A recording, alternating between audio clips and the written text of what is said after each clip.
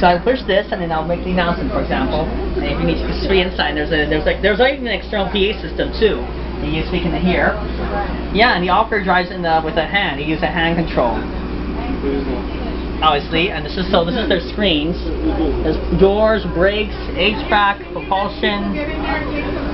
Okay, hold on a second. This is the cameras, so that's something. They have the stress button, there's the vision button, there's the standards, left and right turn signals. Hold on a second. This vehicle has a gong and a horn. Well, this one's not a real gong, it's sound generated. And there's also a vehicle horn.